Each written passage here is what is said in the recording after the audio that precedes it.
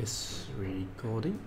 Okay, yeah, it's recording. Welcome back to Bruce Workshop. Today we're going to set up the models one by one.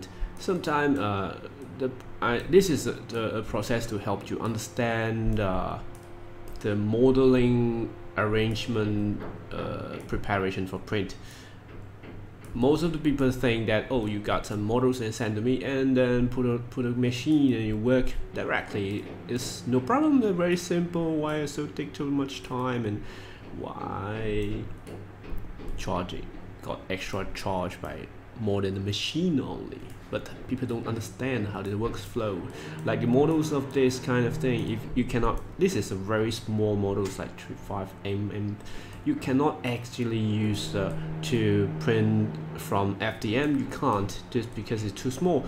So if even in, in a SLA print you need some support material to print it so we need to add support to hold the structure in and sometimes you have to create something different some no I can't set it here. What? By the way but this one should be fine for this angle. So you need to arrange model one by one. There is 21 models in here so they actually take some time to arrange every one of them. Because the first thing is they come in not separately. So I have to separate them at the first place but that one is simple. I just use some program to separate all the one, model one by one and I found that there is a lot of error in the models. It, it, for 21 model I separate them. It show up me more than uh, 50 models. That's it. Horrible. Let me see another one. Let me see the model still here. Select exam. The model pre preparation you if you want to send the 3d print some model you have to prepare them one by one. So example this one. Eh, look look look at this. That are so small and they're separate they are in one model stop. And oh, and also that got uh separate surface. One is separate it should have only 21 but you got 59 what where are those models actually? Can't see them. There's just a lot of path during the modeling. You need to delete all the path before export the model. Otherwise it will make a lot of arrows in the model. You can see I'm select all this. That that is nothing to show on the screen. That needs a lot of fix on that. So I have to export one by one to figure out which is which. And then import to these models one by one and import that create a support for every one every one of them. And then voila that's it. At least need to do this step uh, one by one. So let me finish this. For this case the angles okay three part should be enough but I need to add two more for better uh, better holding. This one should move it back yeah it's fine. Okay I try to stick them together it, because uh, they are one group. And the hardest is this model because it's too sharp. The, the support will not work you need to have manually tuned to find the lowest spot to hold the support like this and then add another support from here from here here. No no no.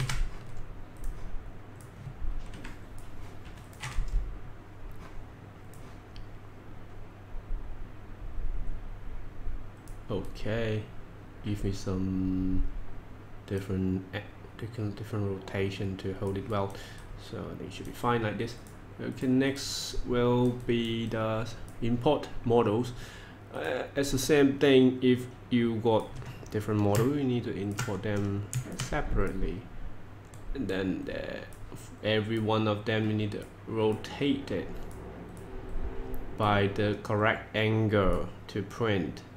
All these need to set up one by one so for this one is round bottom just move to 70 degrees. I know it's 70 degree because I already worked few a lot of got experience on all this because I work all of this. Like this one you know you want the spot sharp spot on the bottom so you got 90 and 90 rotate them back. Uh, move it there.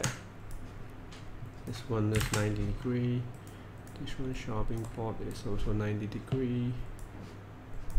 I can't work them one together in this software I had to move one by one. Hmm that is not good. I believe in future they got some orientation automatically but well before the the application developed by someone I had to deal with it. Uh, because I'm not a software guide uh, I can model 3D models but I cannot write the programs.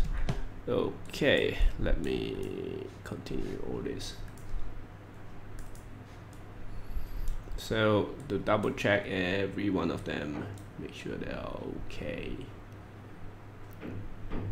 Like this and the round point need to have a support here. Yeah then then then then go back go back another one. That is some renovation nearby now sorry about that. But that's why I still very hard to make videos every day. Because even I try to they will have a lot of more more renovation nearby and my cat is keep annoying.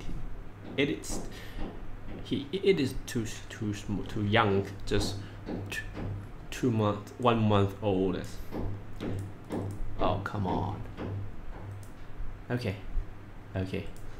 Let's okay. The preparation step is until here. I think I think it's enough to explain how it works and uh, I will continue doing all this then it will take time and kind of boring when you look at it continuously so this is how I prepared the files for SLA print. For this model is still fine because it's less less detailed and you can just add few support to finish it. It, when you got some high resolutions uh, models you want to print them very very well that will definitely miss eat you a lot of time to find out tune out the better solution.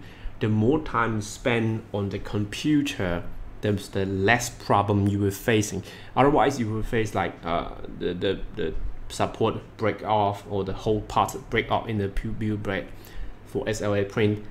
This is annoying because when doing print it every layer 0.03 or 0.05 mm it will once it fail which mean half few maybe five six hours gone before that you can seeing them they, they, they load up from the bed that is not transparent. You cannot see until it can't really come out. So okay uh, let me know if you got any question about model preparation and uh, see you next video. Bye